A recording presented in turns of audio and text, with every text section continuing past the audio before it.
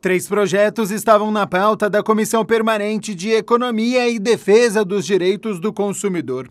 O primeiro analisado foi de autoria do vereador Permine Monteiro, que reconhece o município de Campinas como destino turístico pet friendly. Senhor presidente, eu conheço o projeto, é, aliás, parabenizo o autor do projeto por reconhecer o município né, como destino turístico pet friendly e nós é, votamos favorável, junto com o parecer, tá bom, do vereador Luiz Cirilo.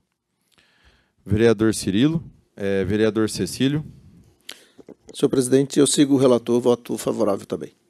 Vereador Nelson. Favorável também ao parecer. Com três votos favoráveis, o meu são quatro votos favoráveis, aprovado o projeto. O item 2 foi a votação do projeto de lei de autoria do vereador Carmo Luiz, que institui a política municipal de incentivo à floricultura de qualidade. Quero saber qual que é o voto do senhor nesse projeto. voto favorável, senhor presidente, ao parecer do meu nobre amigo vereador Luiz Cirilo. Muito obrigado. Viu? Obrigado você. Vereador Cecílio. Sigo o relator também, voto favorável, presidente. Obrigado. Vereador Nelson.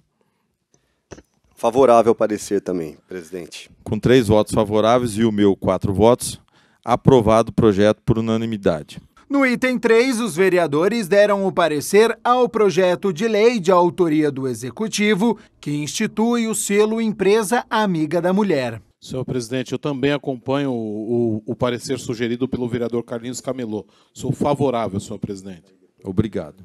Vereador Cecílio. Voto favorável também. Sigo o relator, senhor presidente. Obrigado. Vereador Nelson. Favorável parecer, presidente. Com três votos favoráveis e o meu, o projeto está aprovado.